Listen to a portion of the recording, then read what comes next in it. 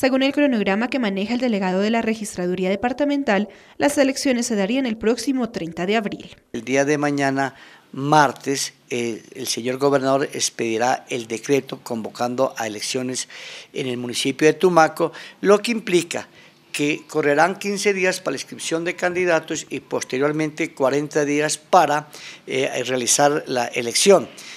Eso implicaría que más o menos el último domingo del mes de abril se estaría efectuando estas elecciones en este puerto del Pacífico nariñense.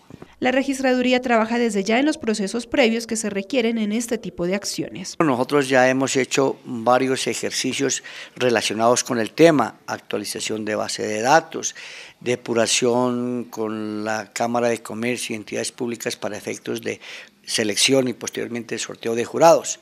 Entonces estamos adelantando toda la logística necesaria.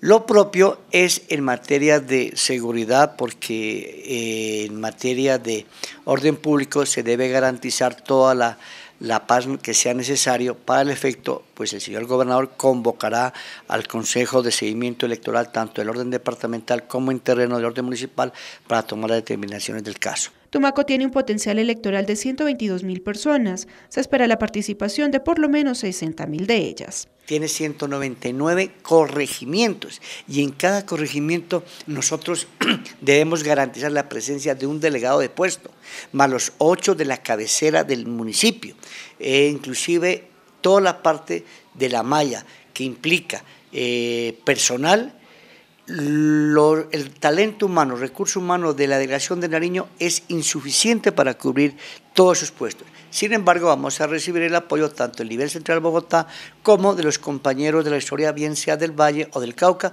que vendrán a acompañar esos procesos.